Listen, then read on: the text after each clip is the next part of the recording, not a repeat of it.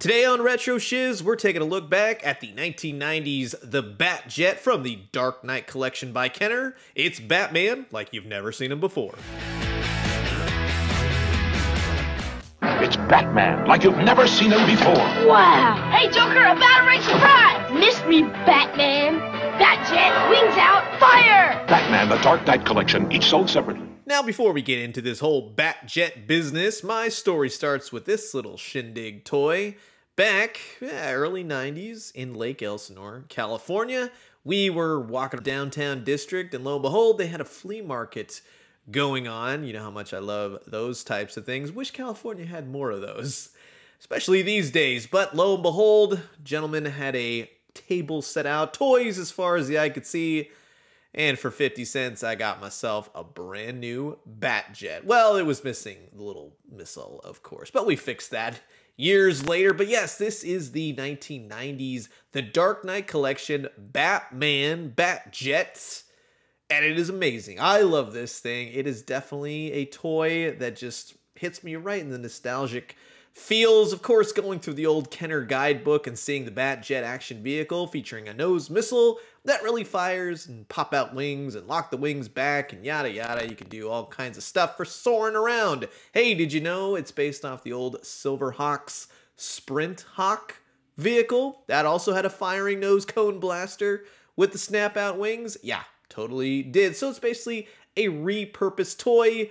But you know what? If I ever did find an old Silverhawks one, I would definitely pick that up. This thing is gorgeous. Basically just very flat black mixed with glossy black elements and personalization of Batman, of course, every which way on this sucker. And yeah, it has its nicks and dings from play over the years, but yeah, it was just a fantastic toy. And for the most part, my stickers are still well intact. I absolutely love the sculpt on this thing. It doesn't really make much sense in terms of looking, I guess, and fighting villains if you're flying this thing around, being that you're reclining as Batman, but the underside, equally as detailed. Love to see all the little Kenner details and screw holes and everything else, but the back is very cool. It's got the twin jet blasters and the canopy opens really nicely. You get to see all the different computer systems inside and where Batman sits. Now for this one, I'm going to use my blue Kenner Batman because I think that's a nice contrast between the all black and the blue. That's just what we're doing. So he fits in really nicely, close up the canopy, it fits in, locks in, and you're ready to take off. Now you want to push the wings back, they lock into place.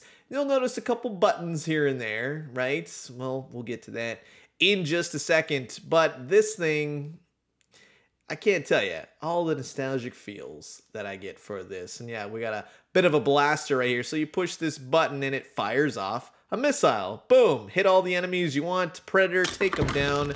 And when you're done, just simply pop it right back in. But the wings, oof, that's, oof, listen to that winged sound right there.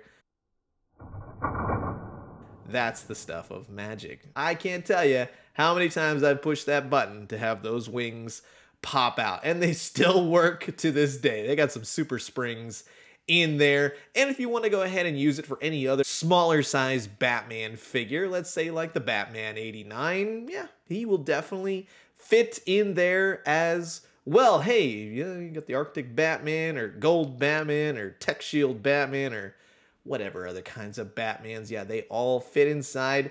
And for the type of vehicle it is, it totally works with them. But I'll be honest with you, I was known primarily for using it for Ghostbusters back in the day. Yeah, there were gremlins on the wing. Haha, corny joke. Anyways, that's going to be my look back at the 1990 Batjet vehicle from the Dark Knight collection. Is it Batman like you've never seen it before? Well, yeah, it's taking an old vehicle from the Silverhawks and repurposing it as Batman would do, but it's still just a excellent vehicle and one that, you know, it just holds a special place in my heart. But what about you?